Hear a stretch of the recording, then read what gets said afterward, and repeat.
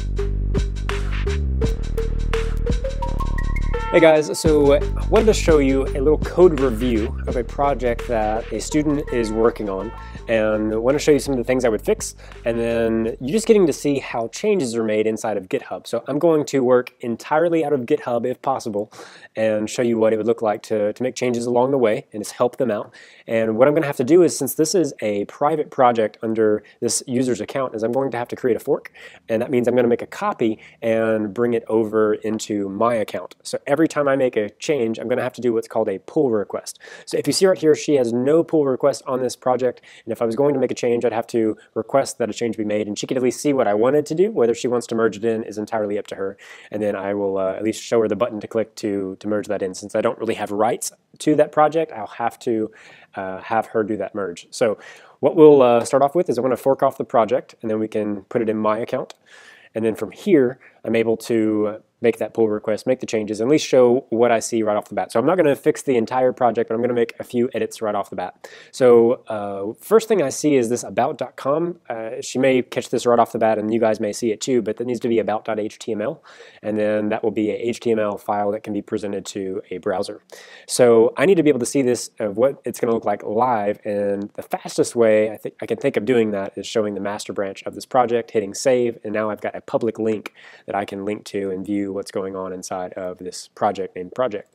So um, let's jump back to this. So this is probably, this link that I have to see the project is probably propagating right now, and that means it's loading up inside of GitHub. It's going to take probably about four minutes for every change I make to be able to see it on the site, so I can go ahead and get started. Um, so the first thing I would do is change this to HTML, so I don't think I can change the file name here actually. So what I may have to do is create a new file and then upload that and exchange it for this file. So I would have to delete. So first thing I'm going to do is copy the contents of this file, not really looking at what's here yet, and then going to move back, create a new file, and then add about.html, paste in the content, and then I'm just going to hit save uh, adds about.html file going to process. I just made a commit giving her context to the change I made. And then I'm not going to create a pull request yet, so I'm going to go ahead and move over to uh, the code again and back to my fork. I don't know why it took me all the way over there. Um, let's move to repositories, project, and hopefully I can keep this up right here. So, uh, all right, so index.html, the next thing I saw was the HTML the document started. All looks great, even an HTML5 reference here for doc type HTML perfect. And then I see the head tag open, and then the next thing is I see a few links, the meta uh, charset reference, that's great, and then also seeing the title of the page. The next thing I should see though is the head should close because I'm starting to see content on the page here as well. Um, I don't understand why there's an image maybe inside the H1. I guess I kind of get it if you wanted a logo to the left. Maybe that does make sense. Uh, it was kind of odd. So I would move this H1 and UL list below and inside of body. So that's where all of the content should be showing us. So if you're not seeing links, uh, then this is probably why, because it's not viewable because it's not inside the body tag. So uh, I'm interested to see if it is showing. Yeah, so about us, home, what is it showing here? So I don't see that list again at all. So it looks like the content inside head is showing, uh, remarkably so, and I don't see the image showing trying to just follow what's going on here. So it looks like some images might be missing. Uh, this one doesn't have an extension of .jpeg. Uh, neither does this image or this image. So what if I just kind of jump in and let's see how things roll out. So I prefer to work in a text editor that can that is smart, and so using something like Sublime Text or Atom. If you're already in Cloud9, if you don't have access to download any of the editors that you may get into, um, then you might just edit right here in GitHub. But uh, you could use Cloud9 as an option to to jump in and start editing that way you could actually clone your repository into Cloud9 and edit and then push back right back up any changes to GitHub. So that's a fancy way. And I already have a video on that. I'll link it below. So let's go and make some of these changes. I'm going to move the UL and H1 down. So I'm going to cut. I'm going to clean up some of this space. I'm going to fix the white space on some of this as well. So highlight, move over. Looks like it's going to be 5, so I'm going to move it to 2. So I want to do two spacings there. I'm going to bring it all the way to the left and then up one. I'm going to clean up any of the lines I don't need. So push this over, looks like there's a div class WP content. Looks like this may be wrapping quite a bit. So I'm going to push that all over. That's great. I don't know what the two buttons do. This may be something like a carousel, possibly, but this might need a, a JPEG reference. I'm not sure, uh, but at least I need to put in the navigation again uh, back in. So I'm going to push that over, trying to follow with what's going on here. So push that all over, and then I'll nudge in that LI list underneath. So the H1 can bring that over as well.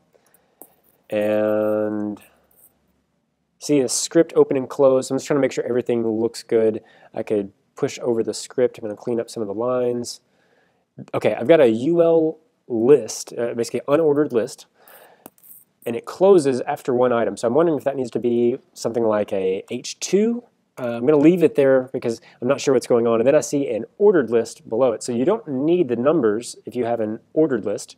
And what this actually should look like is something like this. So let me do a ordered list, open and close of the ordered list, and then I need to do list items inside. So see if it'll finish it for me. Nope. So li, usually I don't have to type in all the brackets, and then what I would do is just uh,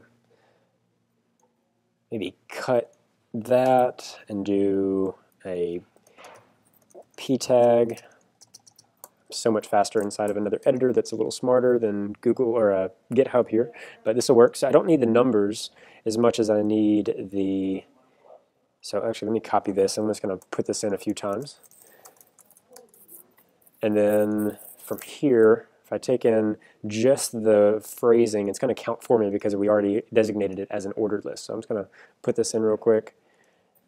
We can save it and view it. So let me finish this.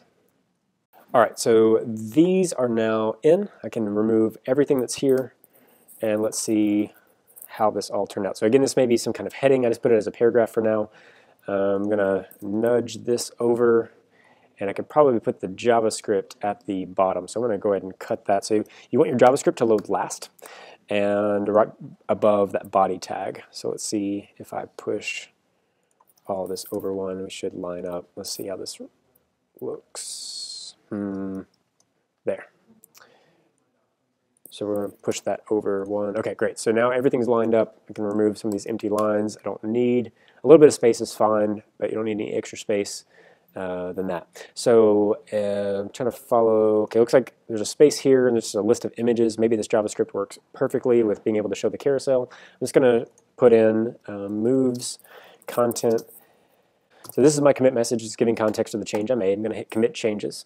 And then I'm probably going to see again that I'm able to do a pull request. Hmm, I didn't do it that time. That's fine. So uh, let's see uh, anything else. So it looks like about was referencing the HTML tag as expected. So if we linked to one of these, that would work out fine. Let's go back and look at the directory.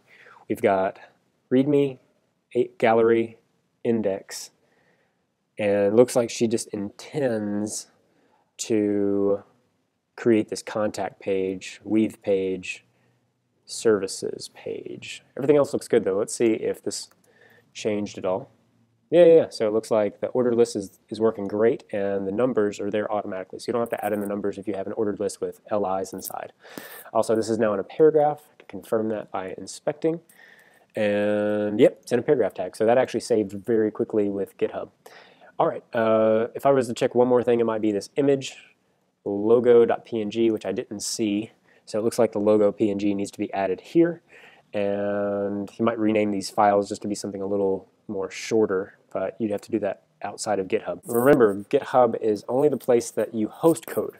It's also a place that you're able to collaborate because it is in the cloud and that you're able to share code together because it's in a remote location. So it's not just on your computer, it's where other people can interact with. Exactly what I did with Destiny's project here. So I am ready to do a compare and pull request, rename uh, about page, and then made sample changes to index.html.